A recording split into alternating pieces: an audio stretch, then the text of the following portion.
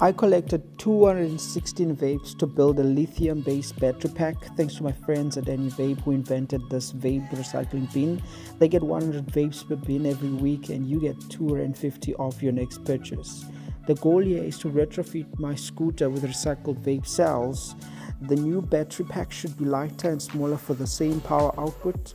Manage my charging and discharging, I'll be using low cost battery management board.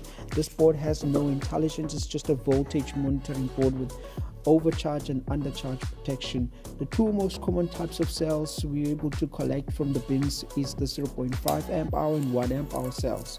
We will be we will be building using 0.5 amp hour because we have those in abundance. We're essentially replacing a lead acid battery that's rated at 12 volt amp hours so I decided to go with a 3S24P 3S for a total cell count of 216 cells or 216 vapes to be recycled. This means that each module will have 24 cells in parallel. The 24 cells in parallel will then be connected in series for a 36 volt 12 amp hour output.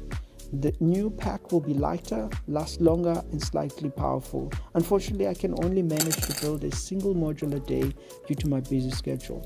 But be sure to check back again tomorrow for another update. Thanks for watching.